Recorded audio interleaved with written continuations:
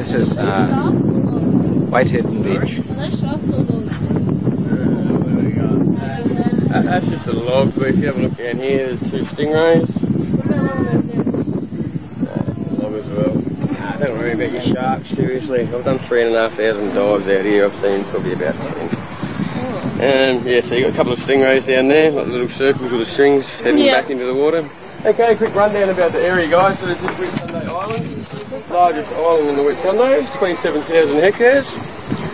Over 10,000 years ago, all of this was mainland. Ice age happened in Europe, water level rose over 100 metres. Is actually the top of mountains here that we can see, which formed our islands. As Ashley was saying earlier, we had some indigenous that lived in the area for thousands of years, called Ngaro people. Loosely translated means vanishing people. Actually thought with their dreamtime stories that the rainbow serpent actually shot through here. Made all of it things. Our look to the right down here, right down the bottom, we so Ngaro people